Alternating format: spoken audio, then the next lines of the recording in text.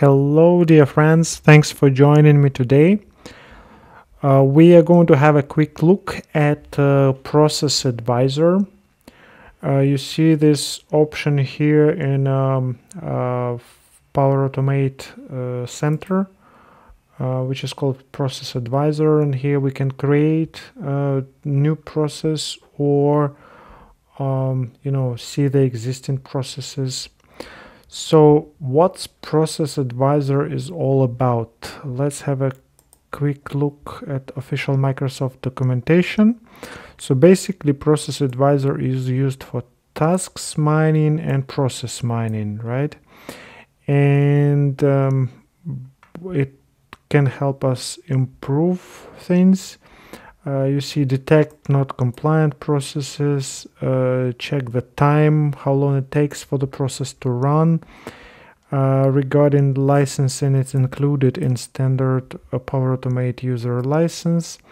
And for prerequisites, we have to have the Dataverse database and also a, an environment, uh, Dataverse environment. Uh, these things you can check out in, in some of my previous videos, but uh, it's uh, it's not hard to set up. There is a default environment that we can use, and for the database, normally the limit is two gigabytes, which is created by uh, default. So uh, let's have a quick look here. What we have. So when we create a new process, right, there is a, an option to create a process or to add in a recording, right? So this option right here, this is basically um, a, something that we can record. Well, you see, I do not have anything here, but basically you have to download Power Automate Desktop, then record the steps that your user would normally take for the process right to, to complete the process. And then you can upload this here to analyze. Um, another option here is to create a new process uh, by uh, using the either recordings right? So we can record the steps or uh, data preview. And for the data for the data preview we have an option right? There is a option to download Microsoft data and also so basically if we have a process described in any of these formats you can see on the screen it's either in database in JSON, PDF, etc. So different file formats are acceptable.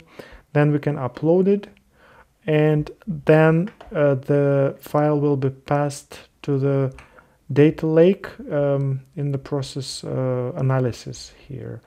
So I can show you a quick example of one of the existing processes I have, right? Um, you see the source comes here as a data lake, so it gets uploaded to, to an Azure data lake um, underneath.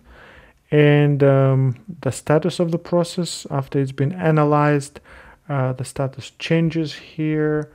Uh, I can see the details and see the analytics. So let me check on the details and the details I see that this was a flow you know Power Automate flow. And it ran only for created and analyzed for three minutes or so. Because it's just uh, some sample Microsoft data I uploaded. Uh, there is uh, let's see analytics. What do we have here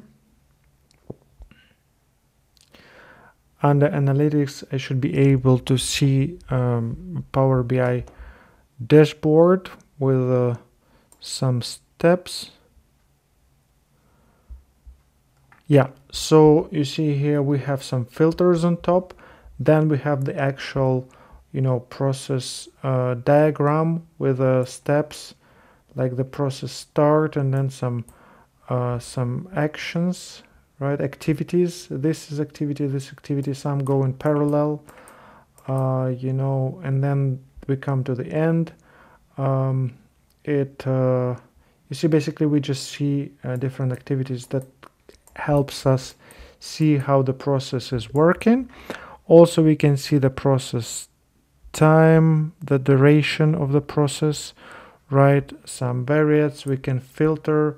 For example in this specific process it was just taken from a sample Microsoft CSV file. We can filter based on a specific person. Let's say we want to see what for Casey, then it gets updated. Uh, so basically this part here and also the cases variants get updated.